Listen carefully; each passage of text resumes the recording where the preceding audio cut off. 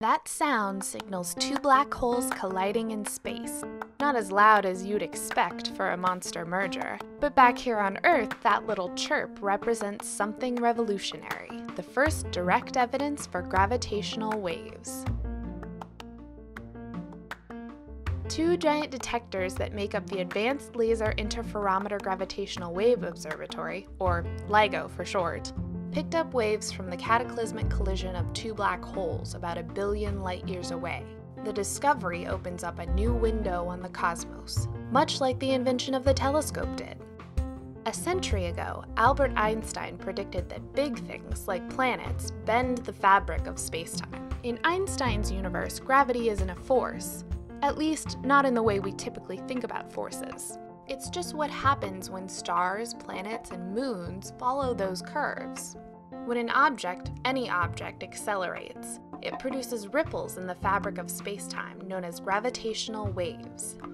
These energetic ripples radiate out and compress and stretch that fabric, similar to how sound waves vibrate the air. You produced some gravitational waves this morning when you got out of bed, just really wimpy ones. Even two black holes orbiting around each other produce gravitational waves that are too weak for us to detect here on Earth.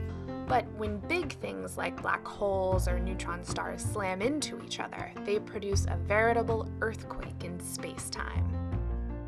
Scientists have tried to detect waves from such explosive collisions for decades, but picking up the signal is like trying to measure a 1 millimeter change in a stick that's a thousand light years long the recently upgraded LIGO has finally succeeded. LIGO splits a laser beam between two 4 kilometer long perpendicular tubes. The beams bounce off mirrors hundreds of times. When the beams recombine, they cancel each other out.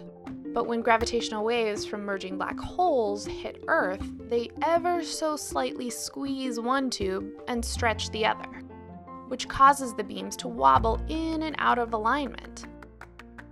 That signal crescendos as the black holes merge. If you converted the signal to a sound, this is what you would hear. Evidence of gravitational waves not only means that Einstein was right, it also allows us to observe the universe in a completely new way.